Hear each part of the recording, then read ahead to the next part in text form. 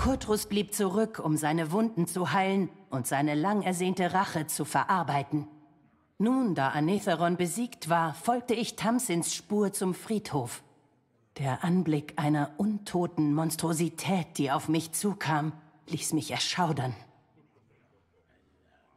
Und damit herzlich willkommen zurück bei einer neuen Folge Hearthstone, Buch der Söldner, Carol Row, mit einem Neosud und so weiter und so fort. Letzte beiden Herausforderungen. Und mit einer sehr interessanten Begegnung. Ich habe ja gesagt, wir sind relativ früh mit den äh, Herausforderungen ran. Ich würde sagen, jetzt haben wir den Vater und danach treten wir nochmal gegen Tamsin an. So meine Theorie. Aber ich habe nicht damit gerechnet, dass wir als entstellte Monstrosität ihm begegnen werden. Erneut als, äh, ich dachte, er hat einfach nur so Verstand. Naja, okay, macht irgendwie doch. Ist irgendwie doch. Macht irgendwie Sinn. Tamsins finstere Magie hat ihren Partner grausam entstellt. Aber eigentlich hat er nur den Verstand verloren und äh, er wurde eigentlich nicht erneut zusammengepflegt. Eine monströse Kraft legt einen Arm der Verlassenen an, nachdem ein feindlicher Diener gestorben ist. Wenn ihr bereits einen habt, erhält er 1 plus 1. Okay, es geht alles um seinen Arm. Wir haben eine Gehilfin, wir haben wieder Kator, wäre so gut. Wenn wir das mal auf der 1 hätten, Buchband Delis Rost wäre das alles Gutes Follow-up. Bannerträger haben wir noch einen. Hauptmann Hashtag wieder so. Aber die Frage auch, haben wir genügend Heiligzauber dafür? Ähm, erfahre Sanitäterin neu dazu. Wenn man Heiligzauber wirken, jetzt ist die große Frage, wo kriegen wir Heiligzauber her? Vielleicht durch unsere Heldenfähigkeit. Ein Diener mit höchsten Kosten. Wir würden also Lady Lear drin ziehen, die eine Kopie des Zaubers auf deren wir auf Freunde gewirkt haben. Jetzt nochmal die große Frage, was haben wir denn an Zaubern heilig? Die würden wir dann vermehren. Hand von Adal würden wir ziehen. Das weiß ich, da Überzeugung habe ich das Gefühl, zählt dann nicht zu. Ähm, der Rest nicht. Also nur die ersten beiden oder wir haben noch was, um uns welche zu erzeugen.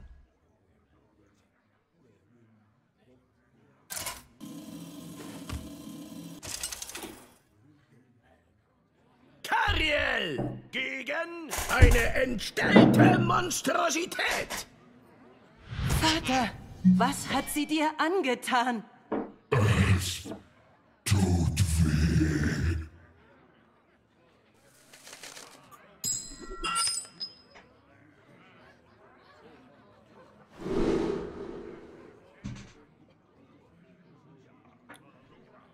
Tja, was Hand von der da sind alles Sachen, die wir nicht auf der 1 haben wollen, auch wenn das natürlich.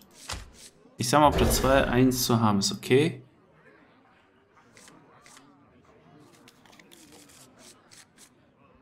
So kann ich vielleicht auch noch damit leben. Ich bin es, Vater. Deine Tochter. Tamsin, bist du das? Ah, für Kariel ist es hart, ne? Die zeigen ihr halt gerade das schwierige, ein schwieriges Verhältnis zum Vater, weil er halt sich, Das Ende naht. sich wirklich nur auf Tamsin konzentriert hat und überraschenderweise ja dann Tamsin trotzdem zu der Bösen wurde und Kariel trotzdem Paladin blieb. Das ist quasi der interessante Twist an der Stelle. Also finde ich ganz gut. Weil sonst ist ja immer der, der schlecht behandelt wurde, dann immer der Böse. Sie ist aus irgendwelchen Gründen trotzdem so stark geblieben. Das wurde hier gerade leider nicht so schön erklärt. Wenn wir einen herbeirufen mit. Ähm, mhm, mhm, mhm, macht das am meisten Sinn? Lass die Toten ruhen.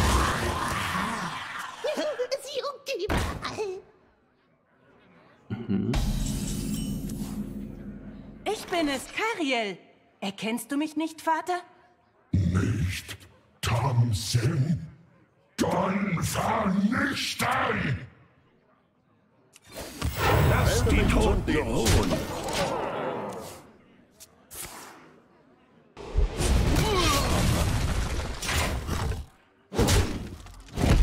dem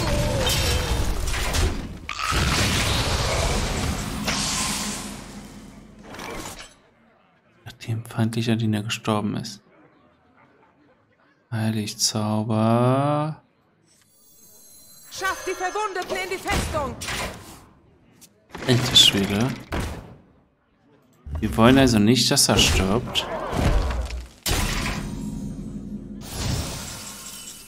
Du hast also meine neue Kreation gefunden. Eine enorme Verbesserung gegenüber dem, wie Vater zu Lebzeiten war. Meinst du nicht, Kari? Ich bin hier, um dich zu retten. Aber das... Das Ende naht. Das ist schon interessant. Jetzt ist immer einer Diener. Ähm, ruft einen Diener mit einer. Es macht die natürlich immer stärker. Wir können natürlich das einfach mal ziehen. Lasst niemanden zurück! Auf 10 wird das aufgewertet. Willst du mich nicht zu meiner herausragenden nekromantischen Leistung beglückwünschen? Wie unhöflich. Deine Taten sind unverzeihlich. Du kannst nicht gerettet werden. Dir ist nicht zu helfen. Dir ist nicht zu helfen. Ja, klare Ansage 3-3, 4-4. Ne, ich wollte den wegmachen. Ihr seid in guten Händen. und weiter Drucken machen. Er hat bisher nicht so viel Defensives.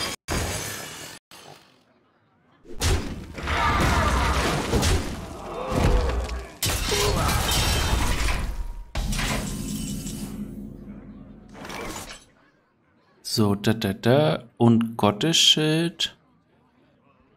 Würde ich sagen, ja. Ich würde auch sagen, setzt das Leben aller anderen Diener auf 1. Würde ich dem wegmachen. Ihr seid in guten Händen. Versucht am Leben zu bleiben. Ja, I can't do that. Lasst niemanden zurück! Aber kommen wir gut hin vom Schaden her.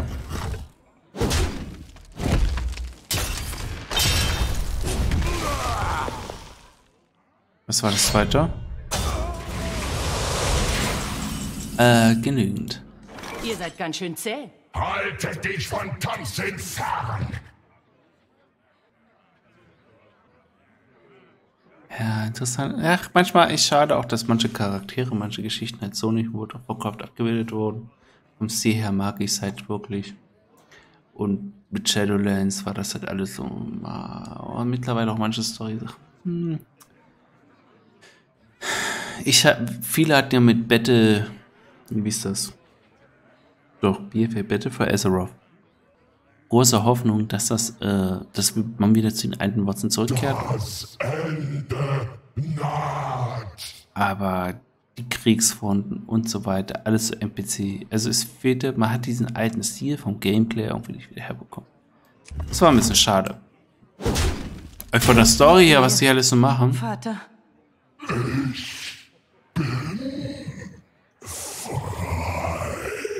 ist es voll in Ordnung. Finde ich super. Aber das muss sich nur irgendwie im Spiel so widerspiegeln. Nicht nur, dass da ständig dieses. Es ist halt genau das richtige Konzept mit dem Buch, das ne? Man hat wieder so ein bisschen normale Charaktere, kriegt das so mit, das zwischen dem, was da wie, wie passiert und die haben ihre eigenen Charakter, auch Persönlichkeiten und so weiter. Super.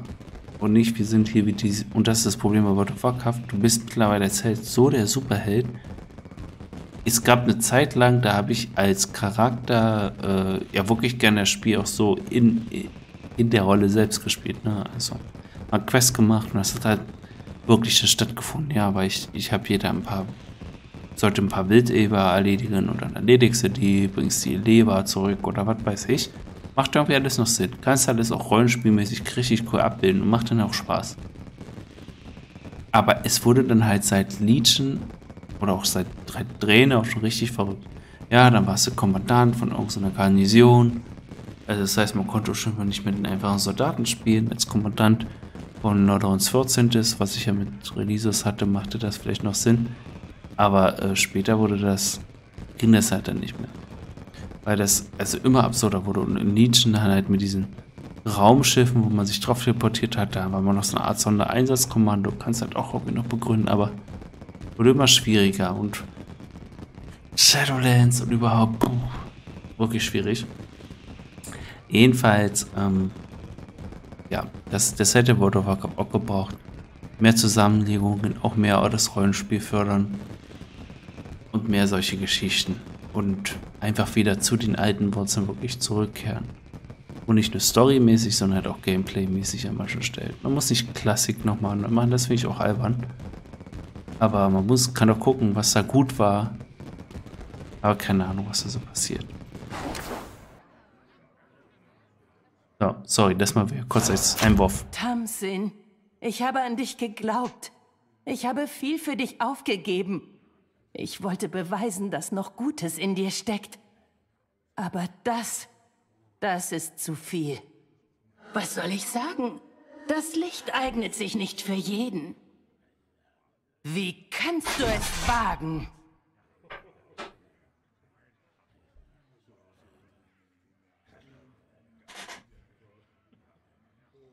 Genau, und damit haben wir die letzte Herausforderung.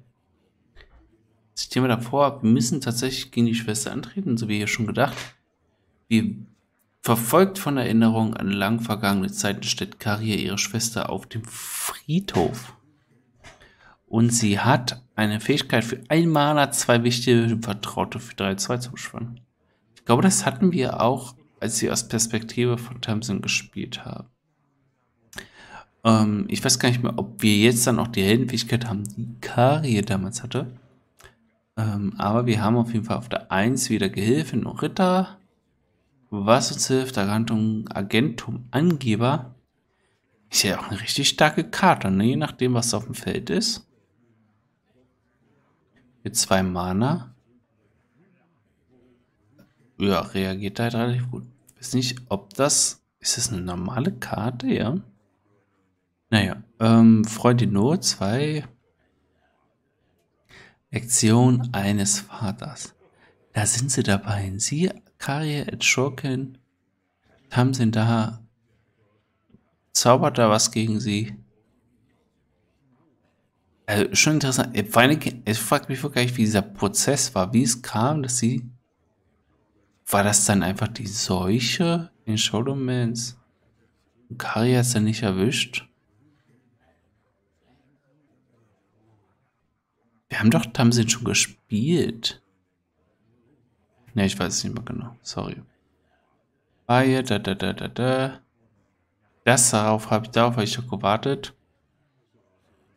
Buchband des Otters. Das zu verderben, können wir halt nur. Okay, mit Lady Liana haben wir nicht gespielt. Hochexarchin Irel. Die Eifer, Lebenshoch, Sport und Gottesschild erhält, wenn euer Deck keine neutralen Karten erhält. Okay, haben wir. Und hier haben wir noch was Interessantes. Erinnerung eines Vaters. Wird beide Seiten des Schlachtfelds mit Kopien von Dienern, die bei Spielbeginn in euren Decks waren. Eure Diener erhalten Eifer. Okay. Das ist also die Karte, die wir hier hatten. Nur extremer da. Okay, cool. Cool, cool, cool. Ähm. Ja, auf 8 und 9 können wir also das dann reinhauen. Das Buchband umzuboden auf Verderben, das wäre wichtig. Oder halt die Kosten zu reduzieren. Ja, alles möglich. Müssen wir gucken, was wir für eine Heldenfähigkeit haben.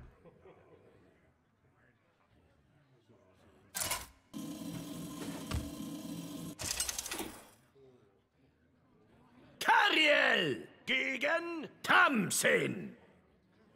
Ich kann dich nicht retten, aber ich kann andere vor dir retten. Ha, dein ständiges Scheitern wird langsam öde, Schwester. Ein Mana für zwei haben wir dann. Aber das reicht nicht. Oder es sind zwei Zweier, dann würde es ja passen. Aber ansonsten haben wir ein echtes Problem. Leben dazu, okay. Irgendeine Option, aber. Mm -mm. Drei Rekruten rufen wir bei. Melde mich zum Dienst. Oh, sie hat auch noch die Quest, die Dämonensaat. Eurem zu. Für den feindlichen Helden alle drei wollen Schaden zu. Rache. Ich, dieser Dämonenjäger, sogar meine wohlwollende Gönnerin. Und jetzt willst wohl auch du Rache. Nicht Rache. Gerechtigkeit. Verzweifle! Ganz ruhig, ich mach ja schon. Sie muss nicht. Okay. Okay, wir haben das. Wir haben. In den Kampf, in den Kampf, in den Kampf, in den Kampf. Melde mich zum Dienst. In den Kampf, in den wir mal so. Verzweifle! Ganz ruhig, ich mach ja schon. Die Macht eines Hexenmeisters benötigt Opfer. Schmerz. Die Dämonensaat wirkt diesem Nebeneffekt entgegen und verbreitet Freude.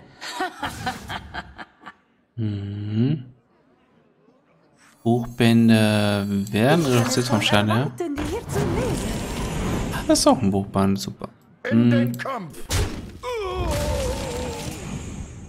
In Kostet den noch Kampf, eins. in den Kampf, in den Kampf, in den Kampf. Sieh meine Werke! Ich mach ja schon. Ah, bitter. Ach, ganz ruhig, ich mach ja schon.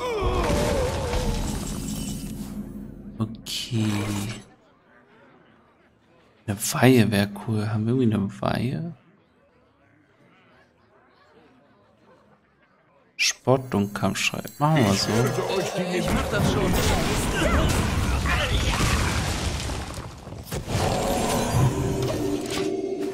Sechs, acht. Verzweifle! Ganz ruhig, ich mach ja schon. Ganz ruhig, ich mach ja schon. Okay, sie greift gar nicht an. Oh, Kariel, du warst auf dem besten Weg, eine wunderbare kleine Halsabschneiderin zu werden. Warum bist du jetzt so eine Langweilerin? Nach Mama, nach dir, war Vater ein gebrochener Mann. Du warst fort, also musste ich die brave Tochter sein. Du findest immer einen Weg, mir die Schuld zu geben, was? Ich würde halt echt interessieren, wer die Mama war. Okay, Buß- Buchband der Weisheit. Du ziehst einen raus. Du gehst auf den. Dich ziehen wir noch. Melde mich zum Dienst. Den können wir wieder noch mal heim. Wir ziehen noch mal zwei Karten. Hier kommt das Schlusswort.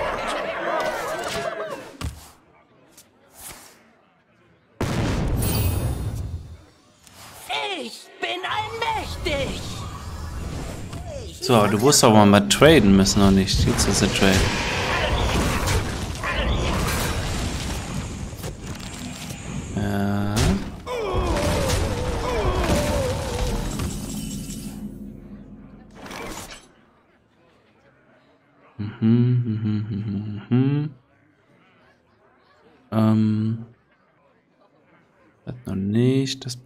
Noch nicht. In den Kampf. Das traden wir hier rein. Ich muss eigentlich nicht acht Leben wiederherstellen. Könnte auch so machen. Aber machen wir halt trotzdem so. Weil 9 eine schöne Zahl ist und der auf 3 auch gut passt. Machen wir das mal so. Blut ist meine Währung.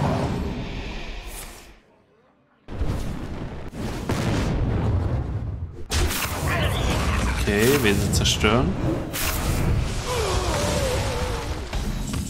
Das mit dem Buchband war ein bisschen Die bitter jetzt. Gerechtigkeit verlangt nach Rache. Gerechtigkeit? Dass ich nicht lache. Als die Geißel kam, gab es keine Gerechtigkeit. Nicht für mich. Siehst du, war die Geißel. Naja. Der Glaube ist mein Spiegel. Mein Wille ist meine Waffe. In den Kampf! Was ist das? Kassiert er wieder gut. Man gewöhnt sich an. Ich bin allmächtig. Ich mach ja schon.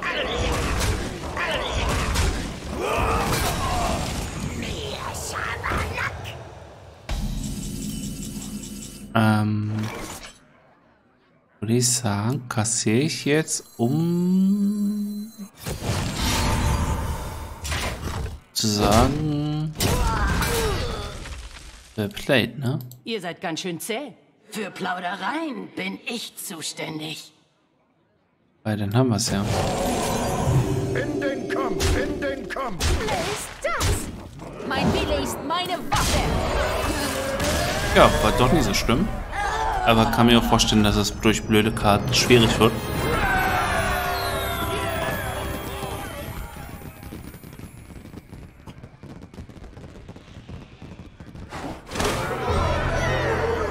Ja, da haben wir jetzt nochmal eine Paladin-Packung erhalten. Die schauen wir uns natürlich auch gleich nochmal an.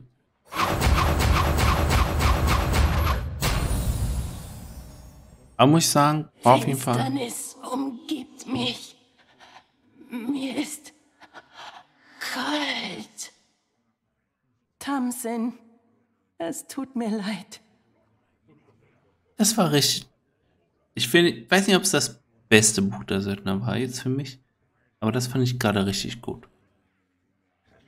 Ähm, was ich mir noch ein bisschen erhofft hätte, wie schon gesagt, wäre zu sagen, man hat, man kriegt noch ein bisschen mit, was zwischen in der Zeit passiert ist, als, als hier, als Tamsin normalen Skolomens war und Karie irgendwie als Schurkin unterwegs war und dann hier plötzlich als Paladin aufwacht. Was, was ist hier zwischen passiert?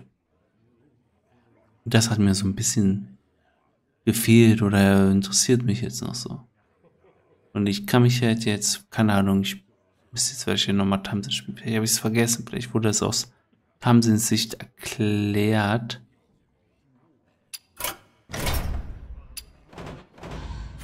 Sehen wir das hier, was Tamsin hatte? Ich wurde in Sturmwind geboren und habe in Skolomans studiert. Aber als die Geißel kam, ließ mich mein Königreich im Stich. Obwohl ich als Verlassene zurückkehrte, trachtete ich nach Rache an den herzlosen Nee. Narren von Sturmwind, die mich meinem Leid überlassen hatten. Zum Glück Hey, war okay. ich eine kluge Gönnerin, die Bla bla bla. Kluge, dann. Be Ja, genau, da ist sie nämlich schon, wie sie ist. Genau, es wurde nämlich auch nicht aus Tansins Story heraus erklärt, sondern ähm, nur mit Kari haben wir das im Grunde davor mitgeklommen. Mich würde jetzt mal noch Folgendes interessieren. Ich will mal ganz kurz in die Sammlung, sorry, da muss ich mal noch kurz einhaken. Ganz kurz in die Sammlung gucken. Sagen wir mal Skolomet. Ja, nicht viele Karten. Es geht mir eigentlich darum. Das, Godomens. Ich brauche nicht das. Nehmen wir mal die neutralen Karten. Ich bin, das, bin der Meinung, es gab das Bild von ihr. Ähm, bitte auch alle Karten zeigen. Zauberkuss, okay.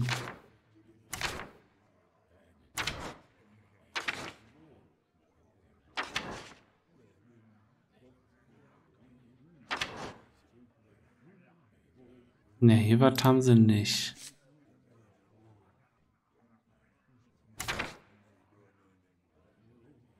So, haben sie das Symbol? Weil das, der Stil war ja da. Der Stil war ja da, definitiv.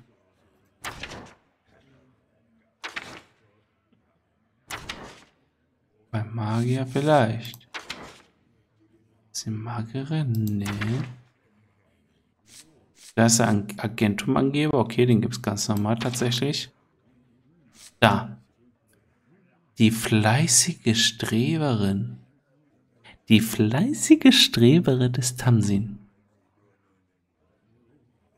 Und da hätte es mich interessiert. Halt voll schade, ne? Bei der Geschichte von Tamsin hätte mich interessiert, was ist aus ihr geworden? Also warum? Okay, also die Geise kam ja und hat sie Pech gehabt. Aber die Story hätte auch anders ausgehen können, so von wegen, sie wird super stark, macht die und unten alle platt, keine Ahnung. Und Karie, die Schurkin, die nicht von ihrem Vater so bevorzugt wurde, die, äh, die macht sich dann zum Paladin und bekämpft sie, obwohl sie die Stimmung vom Vater, wie auch immer, und das ging schief. Und da sind, also obwohl ich die Story jetzt cool finde und so, wie sie es halt gemacht haben, sind für mich noch Fragen offen. Naja, könnt ihr ja selber gerne mal in die Kommentare schreiben, wie ihr es seht, oder ob es irgendwo andere, ich weiß nicht, ob es in WoW irgendwelche, aber ich glaube, das kam alles später, also die sind da nicht mit drin. Aber die Story interessiert mich tatsächlich mal. So, wir wollen auf jeden Fall noch ein paar Packungen öffnen, zumindest die eine Paladin-Packung hier.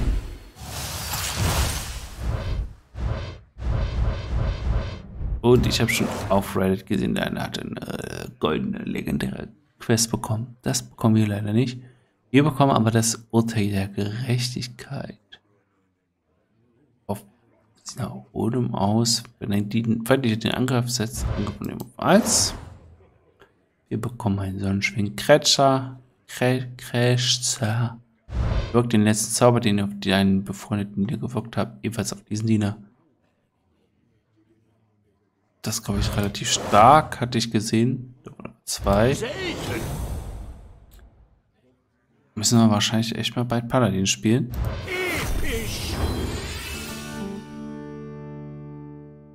Mit dem Buchband der Hoffnung dann auch noch.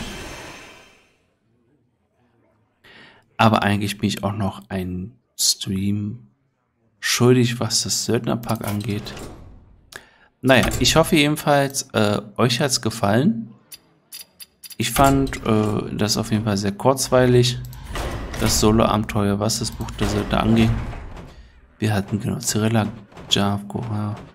Okay, habe ich alle zusammenbekommen. Das heißt, es fehlt uns noch der Schurke. Das wäre... Hab ich schon vergessen. Hier den Gnome auf jeden Fall. Wir haben Tavish noch. Wir haben Krieger, Priester, Druide, Mag Magier, den, den, den Elfen müssen wir noch kriegen. Also Gnomschurke, Elfen, Magier, äh,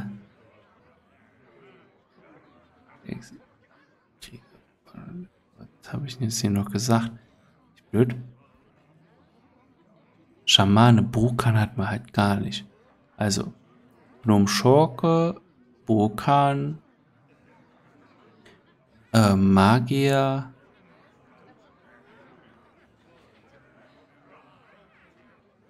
Was noch? Was haben wir noch für Klassen in diesem blöden Spiel? Ist nicht blöd, das Spiel. Ist gut. Ist voll gut. Ich bin nur blöd, um das herauszufinden. Äh, Priester hatten wir. Hallo. Druide, Jäger, Tavish. Tavish hat man noch. Tavish. Ne? Jetzt habe ich zusammen, ne? Kann das sein? Nein, nicht.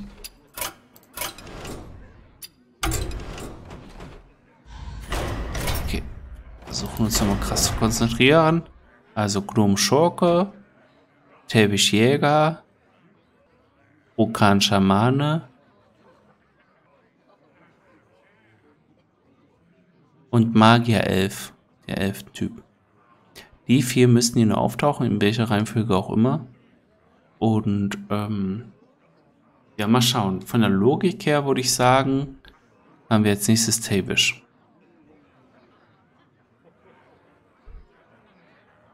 Hier hätte auch irgendwo zwischen eigentlich Schurken genommen auftauchen können, aber vielleicht Tavish. Der erzählt was vom Magier. Der Magier erzählt dann wieder was vom Gnom. Und was blieb noch? Vulkan. Keine Ahnung, wo Vulkan reinpassen soll. Tavish. Magier, Vulkan, beide Sword, die würden eher zusammen sagen. Also Tavish. Dann der Gnome. Und dann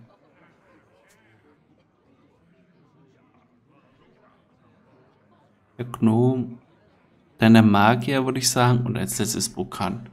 So, und das wäre meine Prognose für heute.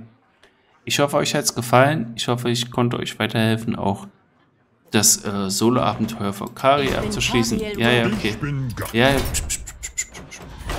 Das, äh, das abzuschließen von denen.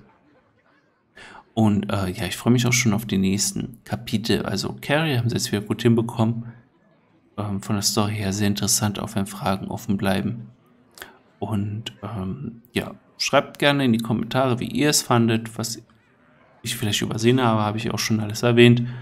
Und ähm, ja, lasst ein Like da, wenn es euch gefallen hat, oder ein Abo, wenn ihr noch nicht habt.